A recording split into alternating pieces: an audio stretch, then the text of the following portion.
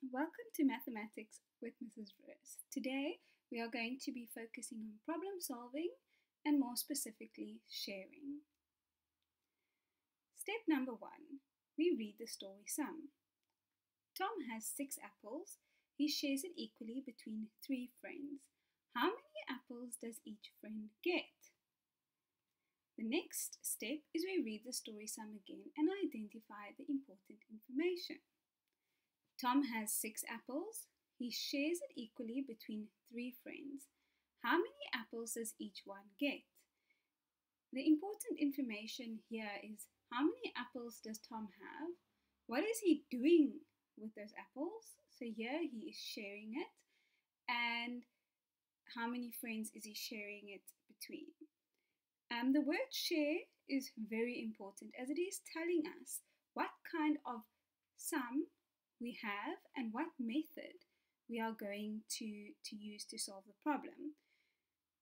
Once you have identified all the important information, you can draw a line underneath the important words. We are now at step three. We draw the apples, and once you have drawn your apples, check that you have drawn the correct amount. Make sure that you didn't draw too many apples or too little apples. Step number four. Draw Tom's three friends. When drawing the friends, make sure that you space them apart so that they are not too close together.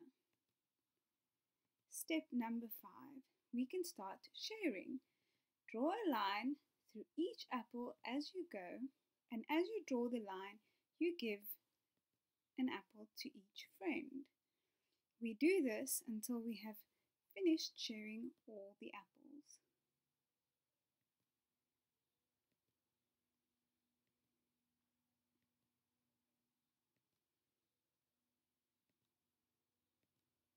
Step number six. Now you can count and write down how many apples each friend received. We make sure that everyone received the same amount. Now it's your turn. Go ahead and work out these two sharing sums.